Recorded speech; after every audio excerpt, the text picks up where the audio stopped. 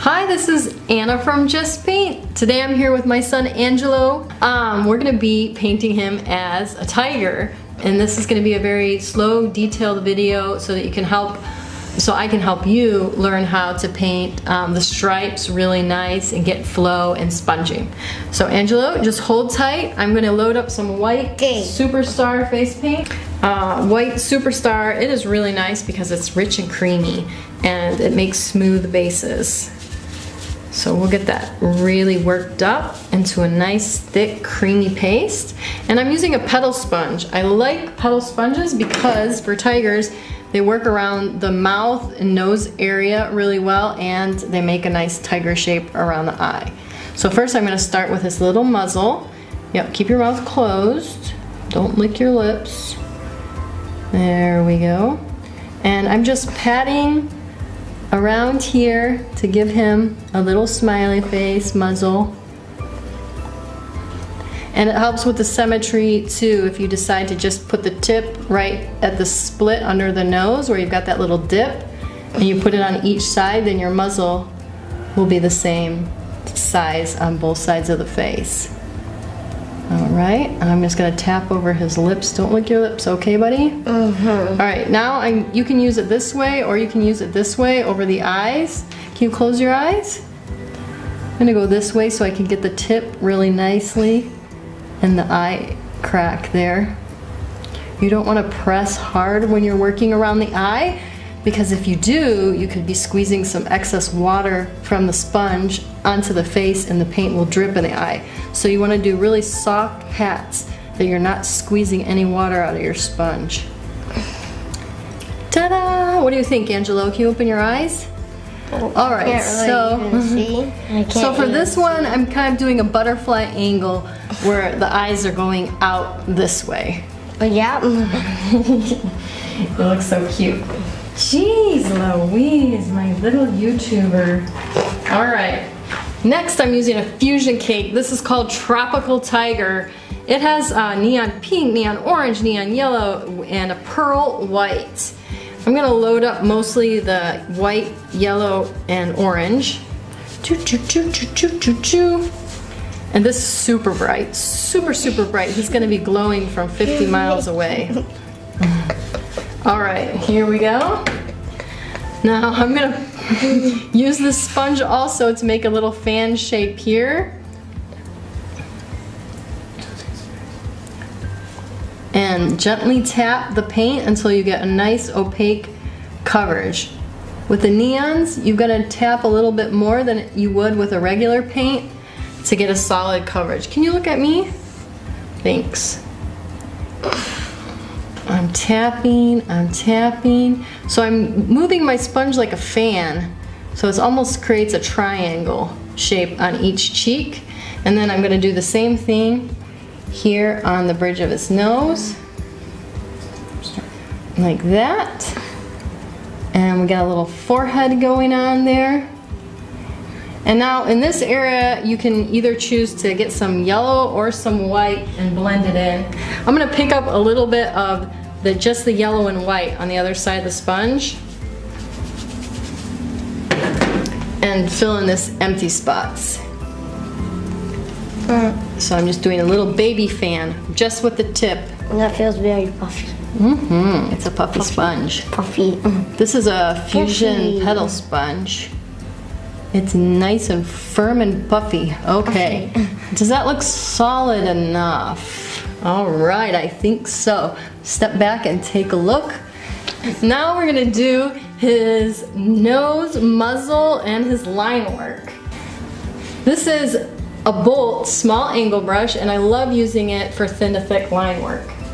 I'm also to be using a Bolt thin round brush for the thin, thin line work around his muzzle. Here we go, I'm loading up my brush, twisting it so it's nice and crispy. And I gotta sneak in here and see your face. I'm gonna look for the line right that goes right under his nose to his lip and make a super thin line. It goes thin to thick. Then I'm gonna press and then pull and make his muzzle. Press and pull to make the muzzle on both sides. If you look at your little guy from straight on, it's easiest to make this as symmetrical as possible. All right, now I'm gonna paint a little lip. Don't lick your lip, don't lick your lip. Oh. It's gonna help. Don't lick them, don't smush them together. Just keep them separate and let this one dry, okay? Alrighty. It There's his little lip. And then I'm gonna paint a little nose on my little tiger. And to do the nose, I just paint like right over the nostril so it goes from thick to thin. Thick on the outer side of the nostril, and then it gets thin. And then I just connect it in the middle. Look at me. Oh, there we go. Hold your legs still so you don't waggle. Oh my god, you're so cool looking. And then for the muzzle, I'm just gonna press out and then pull it in. Press out, pull it in, press out, pull it in, press out, pull it in. So it's like a fan also. The kind of theme for a tiger is fanning shapes. Like triangular coming together to a point. Press it out, pull it in, press it out, pull it in, press it out, pull it in. And one more, press it out, pull it in. There's my little tiger. Next, we're gonna do the stripes. I'm gonna load up Wait. some Fusion Strong Black Out of that one. on this bolt angle, small angle. And we're gonna get striping. I'll start with the eyes. These can be the eyes or the ears. I'm just gonna make them go through. He's tired. And then meow. And I'm moving thin to thick. Pressing my brush, wiggling it. With the angle brush, you can kind of jig, jig-jag it, zigzag it to get all sorts of cool tribal line work stripes. So there's just some quick line work around the eye. And then for the cheeks, I want to do two lines. Whew, how do I do this without blocking? I'm going to do two lines coming down this way and two lines going this way. I- So I'm going to start No, can I move my head this way? no, just keep it right where it is. Sorry. Hold on one second. Once I get away from the camera, you can move your head and adjust yourself, okay? Adjust yourself.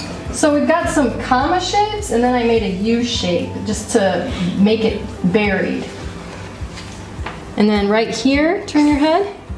I'm gonna make another kind of blobby U shape.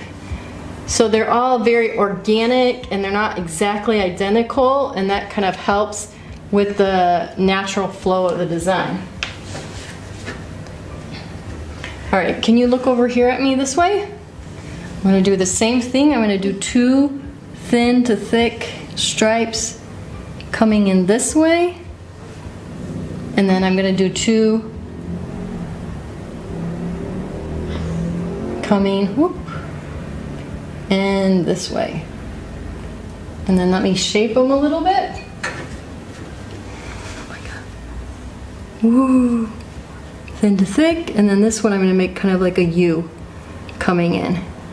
And the more you uh, make them thin to thick, like I said, the better they look.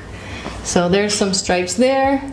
Then he's gonna look forward like this. And I gotta do the stuff on the middle of his forehead, the stripes here. So can you look at me? I'm gonna just make a diamond almost that's open at the bottom and open at the top. Oh, yeah. And then I'm gonna do a little stripe here and a stripe here, so they're kind of like dash marks.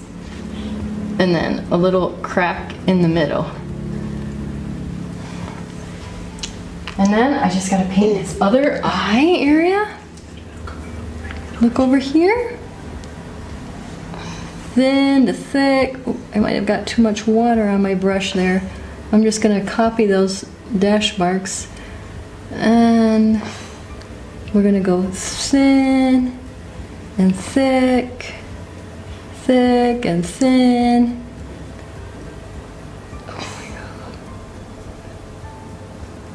All the way around his eye that way. I'm gonna put some little fangs.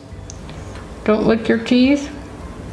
I mean your lip. my teeth. You're Okay, gonna say my teeth? Mm-hmm. paint some little fangs on him. And then if your client isn't too wiggly, you can do a little bit of detail work around the eyes. I'm just gonna put some, Hey. you're gonna ha- stay still. I'm just gonna put some little dots here around his eye area.